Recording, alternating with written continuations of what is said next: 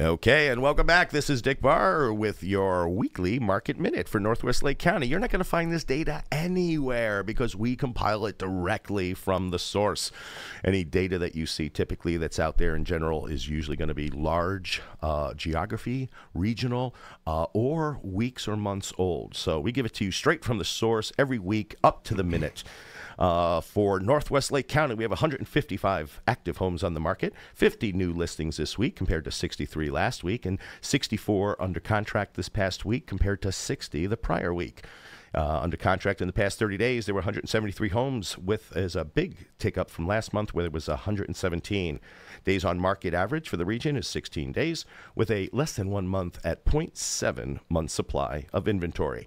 Lowest priced in the area was 128,000 with the highest sold of 1.1 million and the highest active price of 4.9 million. Median home price in the area was 366,900. Now on over to Antioch where they're sitting on the most active in the region at 37 active properties for sale. Nine new listings this week compared to 16 last week. Big drop off.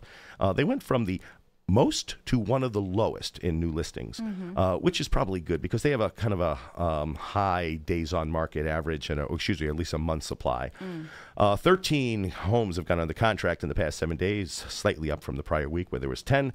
35 homes have gone under contract in the past month, almost double the prior month where there was 18 days on market average it is a is a very respectful only 13 days with a one month supply of inventory which is tied for uh, the highest month supply with uh, the Volo Fox Lake and Ingleside area.